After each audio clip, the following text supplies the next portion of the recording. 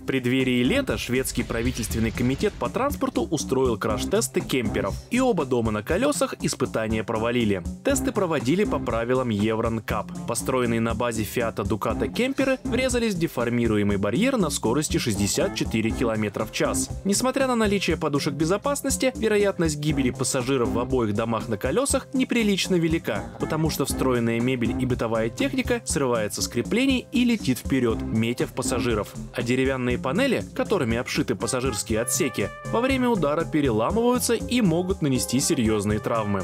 Швеция испытывает кемперный бум.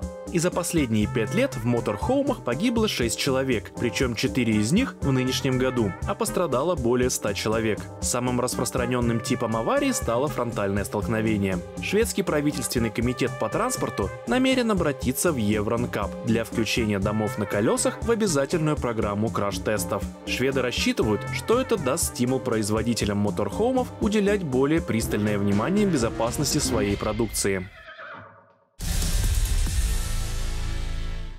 Росавтодор запретил движение грузовиков в дневное время, если температура воздуха превышает 32 градуса. Ограничения будут сняты 31 августа. Нововведение объясняется тем, что в жару на солнце асфальт нагревается, и от проезда больших грузов на нем образуется колея. В число трасс, закрытых для фур в жару, вошли участок федеральной трассы М9 в Псковской области, М10 в Ленинградской области, участок М4 Дон, Ростов-на-Дону, Краснодар, Новороссийск, а также подъезды к городам на трассе Крым.